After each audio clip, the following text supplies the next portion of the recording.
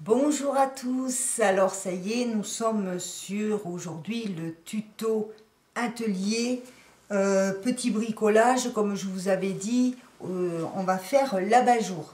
Alors l'abat-jour, moi j'ai commencé, il est là, j'ai commencé à enlever le vieux tissu comme je vous avais expliqué, ça c'est fait.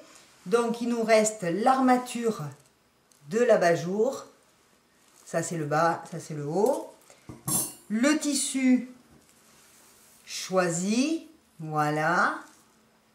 Donc, vous prenez bien le tour au maximum de votre, de votre abat-jour pour avoir la longueur de votre tissu. Ça, c'est fait. Ensuite, eh j'ai prévu un petit ruban rouge du fil à coudre rouge, et puis ce qu'il faut, aiguille courbe, carrelée, enfin euh, aiguille droite, comme vous voulez, les épingles, et surtout les ciseaux, évidemment.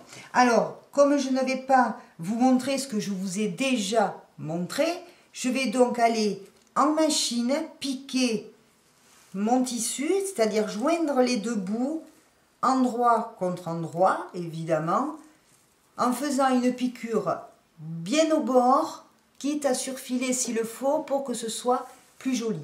Donc je m'en vais en machine et je vous retrouve tout de suite. Alors voilà, nous y sommes. J'ai piqué bord à bord, l'envers, l'endroit. Donc là, j'ai le haut. Et là, vu que c'est un tissu déjà brodé, je mets donc le bas comme ça. Alors, mon abat-jour, eh bien, on va enfiler, tout simplement. Alors, je vais couper les fils quand même, que j'ai laissé trop long, là. Ça, c'est, ça peut se faire après. On verra. Alors, on va enfiler notre abat-jour. C'est là que les atteignants s'atteignirent. Savoir si nous avons bien mesuré. Alors, il vaut mieux être trop large que de prévoir trop court, hein, je vous le dis. Mais bon, il y a toujours des solutions. Mais écoutez, moi ça passe très bien. C'est super. Alors maintenant, ce que je voudrais, c'est que mon abat-jour, je puisse faire la même hauteur partout. Donc c'est pas évident. Donc je vous propose un truc, un support, comme moi cette boîte à mouchoirs, où je vais caler mon abat-jour. J'aurais dû vous le montrer avant. Je cale mon abat-jour dessus. Pas évident parce la boîte, elle n'est pas trop d'accord. Mais je vais y arriver, puisque j'y suis arrivée tout à l'heure. Il n'y a pas de raison. Là, non mais. Voilà, droit quand même. Voilà. Ben, comme ça. Là, je sais que j'ai l'armature, je la sens. Donc, ça va me permettre de régler la hauteur depuis le bas de mon abat-jour qui est là de régler un petit peu ce que je veux. Pourquoi ça bloque? Ah, bien sûr, je l'ai bloqué. On va y arriver. Non. Excusez-moi, en plus de ça, je me, je me sors du champ. Voilà. Donc, on va essayer de le mettre à la même hauteur partout. Tant qu'à faire, ça serait bien. Donc, on va le tenir sur une ou deux épingles pour que ça ne bouge pas trop. Alors évidemment, en haut, on va avoir de l'ampleur, de la France. À vous de faire comme vous voulez. Je pense que je peux monter un peu plus. Moi, ça serait plus sympa.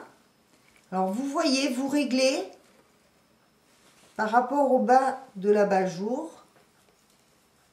C'est vous qui voyez. Quoiqu'après, ça va remonter. Non, non, laissez assez d'ampleur parce que votre abat-jour, souvenez-vous, il est incurvé en haut. Donc, euh, essayez de faire partout pareil. Là, c'est un tissu avec des trous. À la limite, vous comptez les trous. Mais bon, c'est le genre de choses que l'on peut faire comme ça, euh, rapidement, faire rapidement. Après, on aura du point à la main à faire. Voilà. Je ne vous cache pas, tout va bien. Je fais le tour, à peu près vite fait, hein, parce que il vous faut les... C'est juste pour le tenir en haut. Un petit peu.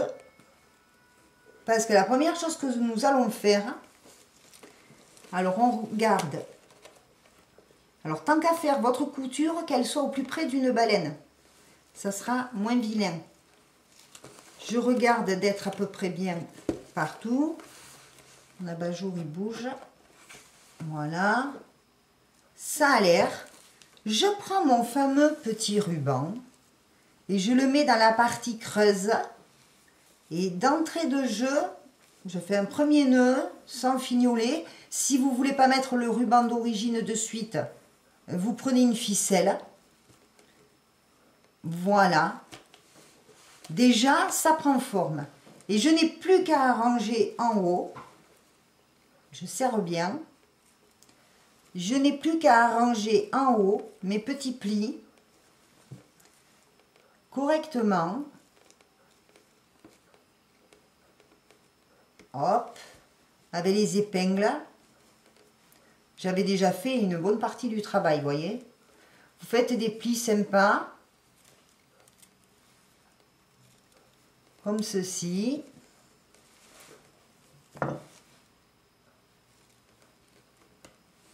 On va y arriver. Il y a une épingle qui dépasse, où es-tu Hop, non mais dis donc.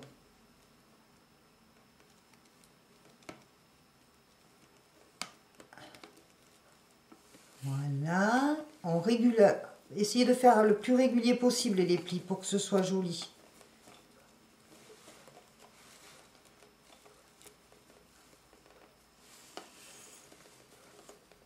Voilà. Là,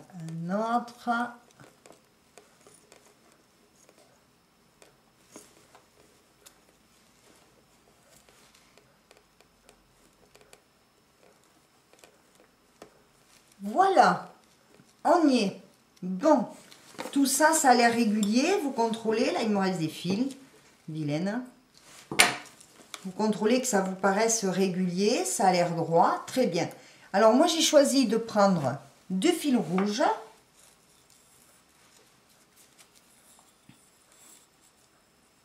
Et je vais coudre en haut un petit point. Donc là, il va falloir que je vous zoome. Vous essayez même de le doubler le fil suivant le tissu que vous avez.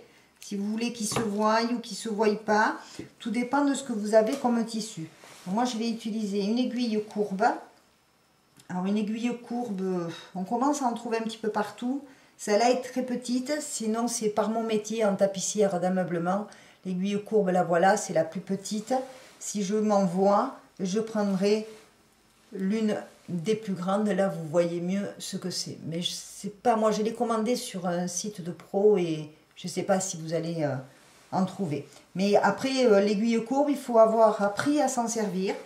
Donc, si ce n'est pas votre cas, mon enfil aiguille parce que je n'y vois pas bien. Si ce n'est pas votre cas, eh bien, bon, vous faites avec une aiguille droite et ça ira aussi bien. Alors, alors moi, je vais doubler mon fil là. J'essaie de l'enfiler. Hein. Je ne suis pas partie. Hein. Mais c'est pas vrai.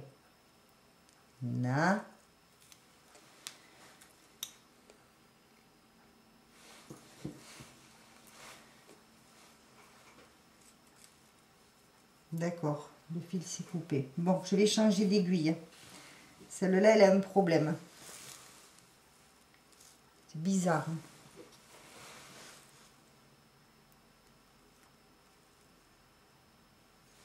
On va réessayer. On m'a coupé le fil. C'est bizarre.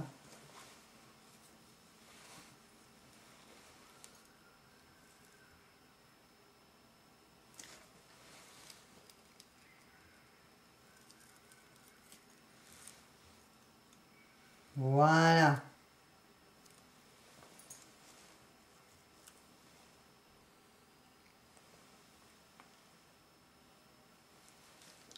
Alors, suivant les tissus, toujours pareil, quand on coud à la main, on essaie le nœud pour les jeunes filles. Vous mouillez un peu vos doigts, hop, comme ça. On tient le fil presque jusqu'au bout. Vous tournez autour, vous faites rouler sur vous-même et avec l'autre doigt, hop, le nœud est fait. Voilà. Alors, moi, je vais, on va cacher, on va essayer de cacher le nœud dans un pli, ça serait bien. Et on va se mettre au plus près de l'armature. Alors maintenant, comment vous allez me voir piquer?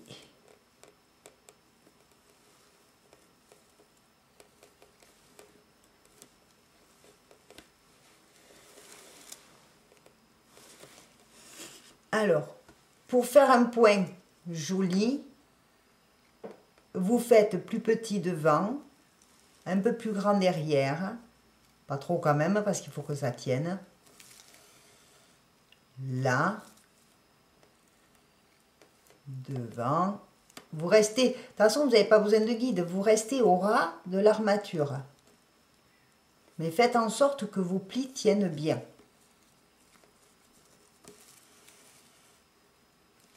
Alors si ça ne se voit pas que c'est trop petit, on peut agrandir. Hein. parce que le but c'est que moi j'ai envie que la couture se voie. Après vous, vous pouvez faire avec la même couleur que le tissu. Mais moi j'ai envie que la couture euh, se voie et que ça fasse un peu de déco.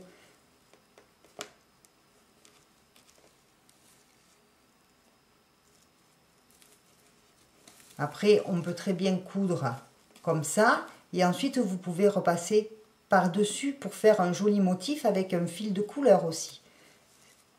Là, euh, je vous présente une idée, à vous de faire aller votre imagination. Alors j'espère que vous voyez bien le point, comment je fais. C'est le point très simple de couture de base. Hein. Franchement, euh, là, on revient sur la moitié de l'espace, on revient sur la moitié de derrière, et ainsi de suite. Ça fait un petit point comme ça. Je pense que tout le monde sait le faire.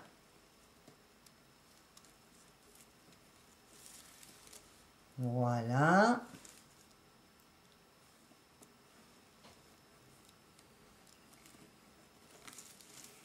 En même temps, celle qui trouve des aiguilles courbes pour certaines choses, l'aiguille courbe, elle se tient à plat, comme ça. Ça ne se tient pas comme ça, ni comme ça. Jamais comme ça, parce que vous allez l'ouvrir, votre aiguille courbe. Une aiguille courbe se tient toujours à plat, comme ça. Je ne sais pas si vous la voyez. Comme ça, à plat, et on travaille comme ça. Eh bien, moi, je continue, et on se retrouve dans un moment.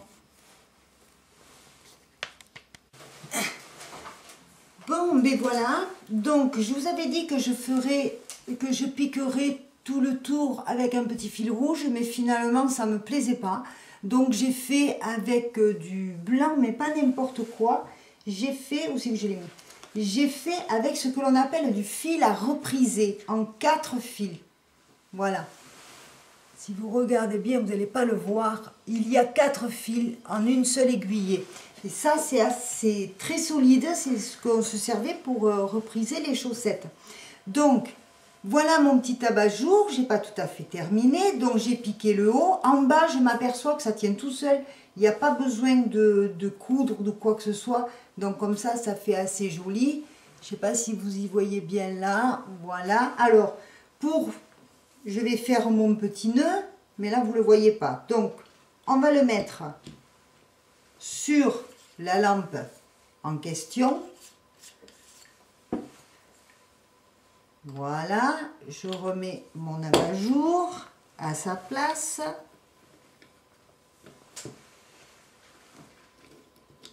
On revisse bien tout comme il faut. Allons.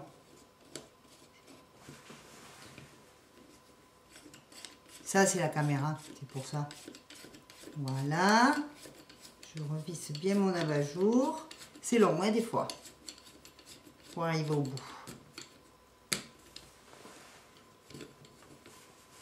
Bon, comme c'est une vieille lampe en plus, j'espère que...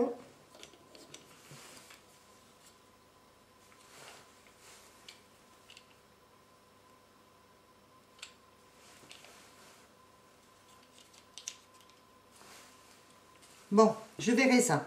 Alors, l'aval-jour est fixé, si on veut. voilà. Maintenant, je fais mon petit nœud. Je resserre bien.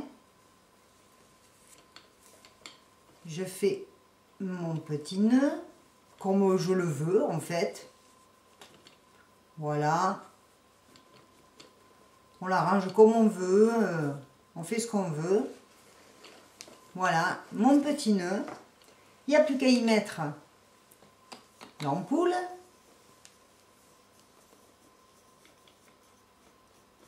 Voilà, précautionneusement. Je suis prudente, je tiens à ma vie, donc je vais brancher.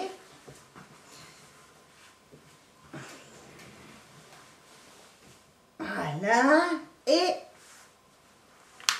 voilà j'allume. Voilà une jolie petite lampe. Alors là, vous ne le voyez pas trop, il faut voir ce que ça fait dans le noir.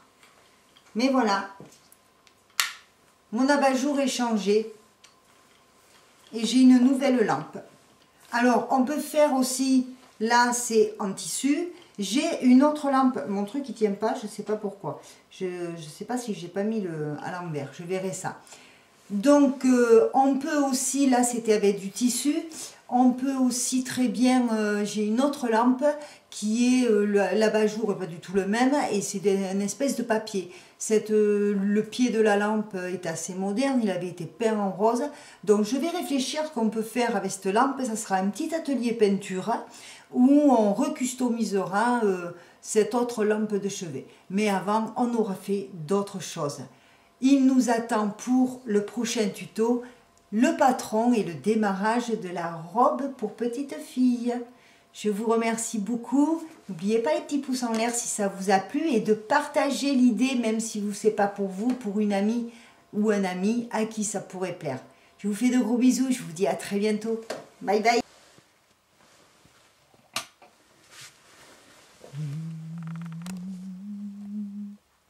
Voilà ce que ça donne.